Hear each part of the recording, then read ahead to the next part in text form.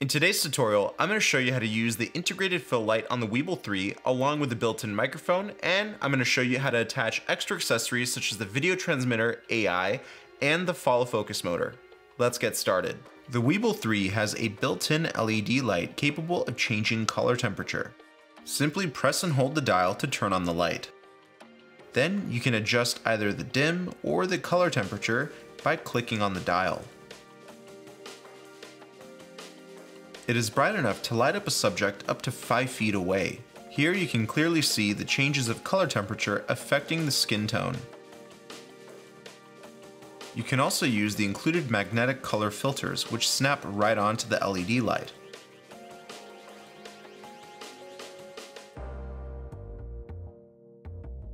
Now let's talk about the built-in microphone.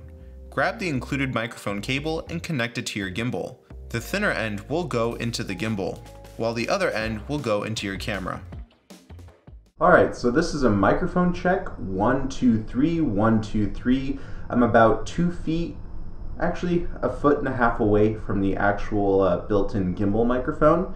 I think that this microphone is pretty decent for scratch audio and just if you want some ambient sounds uh, for let's say a documentary or something like that but it's good enough for those purposes. It's definitely handy if you forget your microphone at home because getting those ambient sounds and scratch audio is very important for your films and for basically any other project that you may be shooting. Now let's install the video transmission system.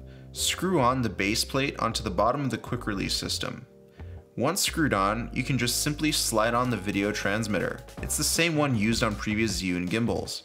Now let's install the follow focus by wrapping around the gear ring on your zoom or follow focus ring. Next, install the follow focus motor support bracket underneath the quick release plate.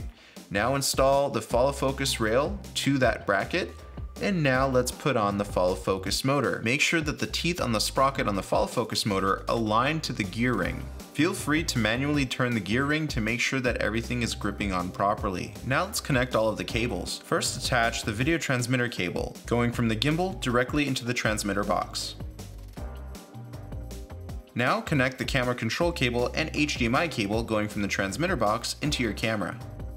Now grab your connection cable for the follow focus motor and plug it in. And connect the other end into the gimbal control port. Make sure you're using the correct cable. It has a little tag with a follow focus motor on it.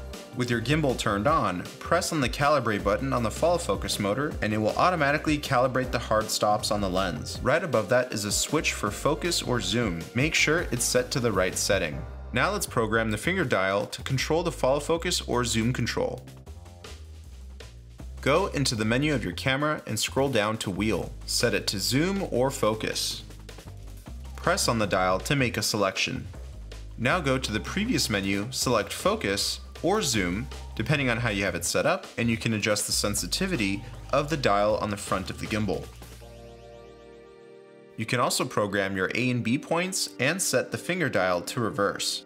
Now your gimbal is fully rigged and ready to rock. And that's it for this video. Make sure you check out the other tutorials for this series on the Weebill 3 gimbal.